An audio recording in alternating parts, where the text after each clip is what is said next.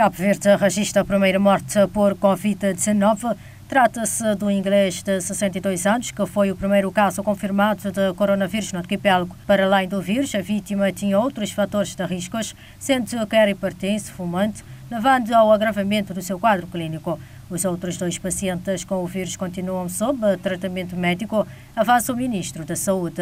A evolução clínica, o quadro clínico de, do, paciente eh, tinha vindo a agravar-se e infelizmente acabou por uh, ter o desfecho, o óbito. Em relação aos outros dois uh, casos confirmados positivos,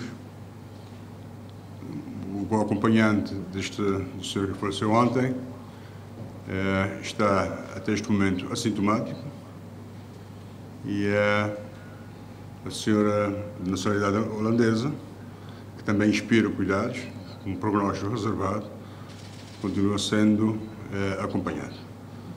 Não temos, eh, neste momento, mais nenhum caso confirmado. O, o esposo da senhora holandesa eh, fez testes, mas que deu negativo. Estão sendo reforçadas as medidas de combate, nomeadamente para a Ilha da Boa Vista, em que se encontram os casos positivos. Foi enviado um novo contingente constituído por elementos da Proteção Civil, bombeiros, militares e efetivos da Polícia Nacional. Também serão recolhidos os funcionários que tinham deixado os hotéis para um melhor controlo. Os hotéis ficaram de recolher eh, os restantes eh, funcionários que estavam fora do hotel eh, para podermos melhorar portanto, essa monitorização das, dos funcionários do hotel e com o objetivo fundamental de, eh, portanto, eh, termos o domínio da situação e fazermos um trabalho com melhores chances de sucesso. Foram submetidos eh, a um inquérito epidemiológico,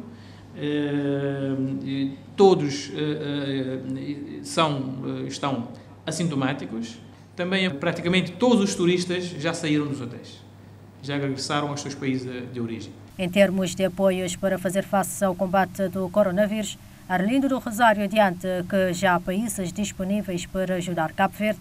Entre elas, o Banco Mundial vai disponibilizar um montante de 500 milhões de dólares. Com a Organização Mundial da Saúde, com a Organização Oeste-Africana da Saúde, inclusive com parceiros eh, em termos de cooperação bilateral. Eh, a China, eh, portanto, o governo chinês tem mostrado toda a disponibilidade e já mostrou e já nos garantiu também um apoio em termos de, de aquisição de, de, equipamentos, mas convinha também dizer que nós vamos ter um financiamento do, do Banco Mundial, no valor de 5 milhões de dólares, para fazermos face eh, portanto, à epidemia.